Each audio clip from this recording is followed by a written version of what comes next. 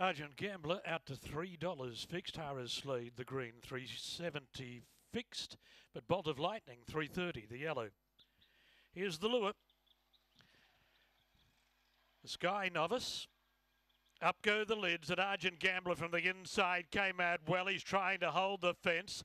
Cool Dude going with him. Argent Gambler, Cool Dude, Harris Slade. Fawn Yogi Blue, followed by Sushi. Further back was Last Drink, Bolt of Lightning, and Golly Goodness had dropped to the tail as Argent Gambler led for home.